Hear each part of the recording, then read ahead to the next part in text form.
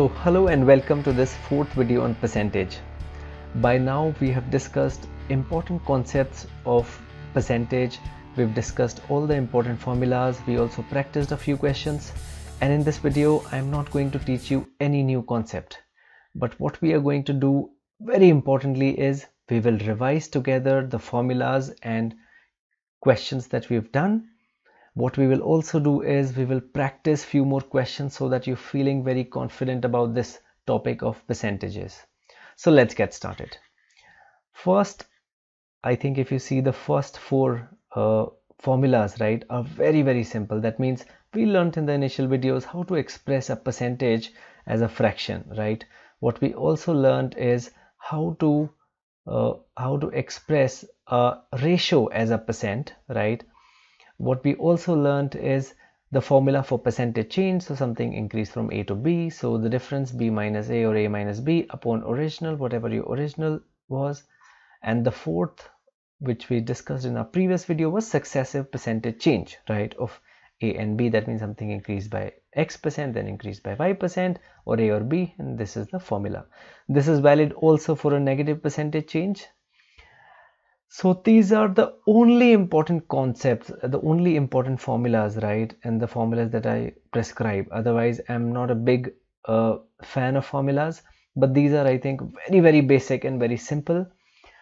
The other thing i told you in my second video was to learn by rote you know this table. That means if somebody asks you 1 by 4 automatically 25% should come to you, your mind if somebody says 1 by 11 automatically 9.09 should come to your mind. So i think this is something that you have to learn uh, by rote so that you're feeling absolutely confident about this and this becomes a part of your permanent memory.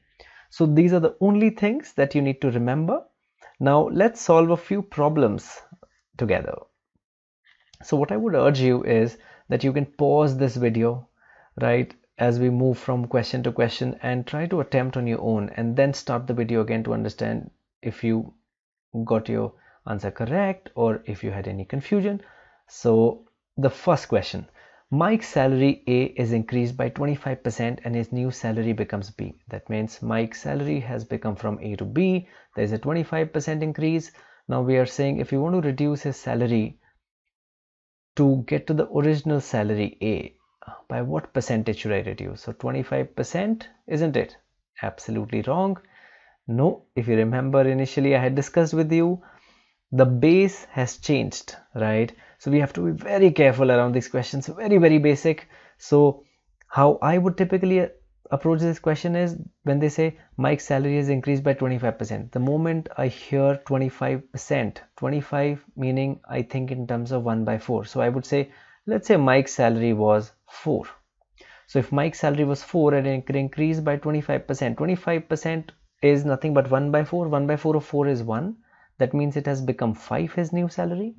Now if I have to reduce his salary to the to make it to the original salary by how much I have to reduce? I have to reduce by 1 and 1 from what? So 1 from the new base which is 5 so 1 by 5 is how much? Nothing but 20% so let's move to the next problem now this is also a very typical question that comes in a percentage and a ballot vote and you know people voting and some votes were mm-hmm. void and some were valid. So let's see what the question says. In a ballot vote involving two politicians 68 votes were declared void. Okay 68 votes were declared void okay. The winner scored 52% of valid votes and won by 98 votes okay. Let's assume the total votes casted are here okay. Now they're saying some of the votes are some of the votes are void. So how many are voids? Let's say 68 okay. And let's say this is the total area you know the winner who got 52% votes let's say he's here. And then of course of the valid votes that means the other remaining would be with this guy which is 48% right? Now they're saying the winner won by 98 votes. That means what? That means the difference of 2 is 98 that means 52 minus 48 52% minus 48% which is your 4% is equal to 98 isn't it? So if 4% is 98, how much is 100%, which is the total valid valid votes? Sorry, uh, this is 98. This 4%, this has to be 100%, so it will be 98 into 4. You can multiply here by 25, here also by 25. Or what you can do is you can say 98 into 25, you can write 100 by 4 if you don't like calculations. Let's say 2 into 2, 4, 2 into 49, 98 4900 by 2 which is nothing but 2450 so have we reached our answer? No just a second. What is the question? Question says total number of votes casted. Total number of votes casted would be these total valid votes plus the 68 void votes. That would be 2450 plus 16 68 which would be 2518 so let's move to the next question.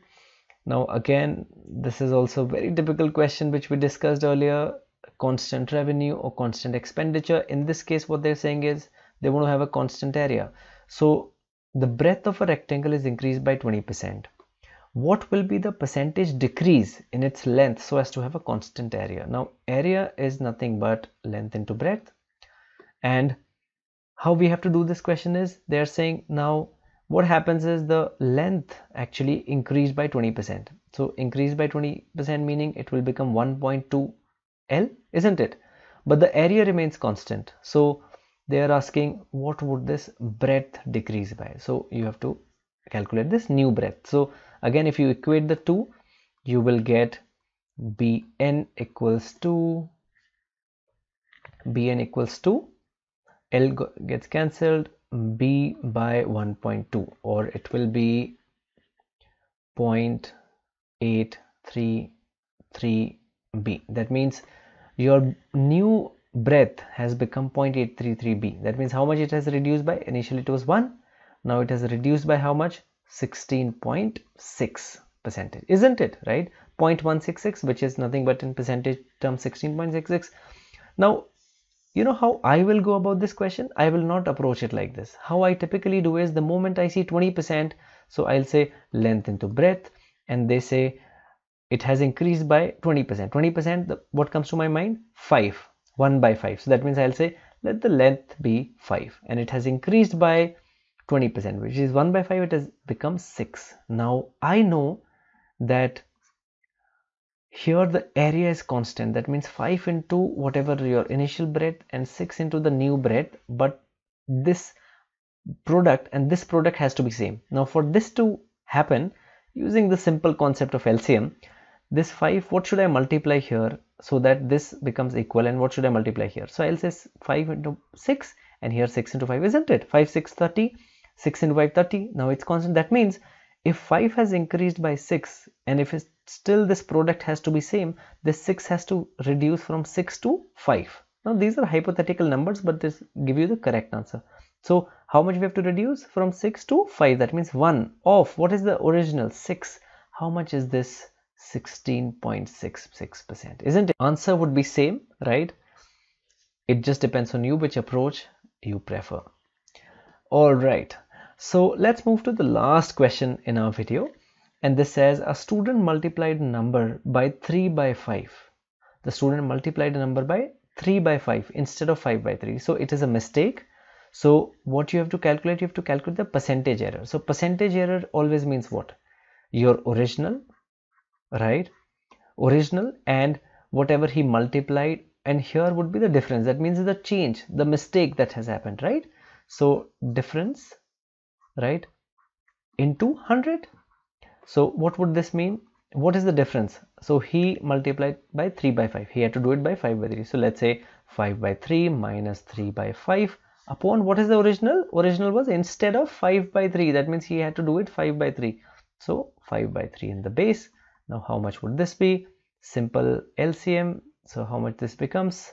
This becomes 15 15 divided by 3 5 5 5 25 25 minus 15 by 5 3 3 into 9 so upon 5 by 3 or you can also put it as this is 25 minus 9 16 by 15 instead of dividing here again you can multiply that by 1 in 1 in 1 by 5 by 3 which is nothing but 3 by 5 so 3 into 5 15 and this is 16 upon 25 and since this is the percentage change formula right so there would be a hundred. So 25 into 4 so ultimately you get your answer as 64 percentage. This is your percentage error which is your first option. So by this we have come to the end of this video. And I feel you are extremely confident now to tackle any problem on percentage. But like I said the key to become an expert at maths or your aptitude is practice. So I would urge you to just practice more questions and you can refer our practice questions which are in the quiz section which is at every chapter. So you can practice all the three types of quizzes your easy medium and difficult to really become very confident about this. Thank you for watching. All the best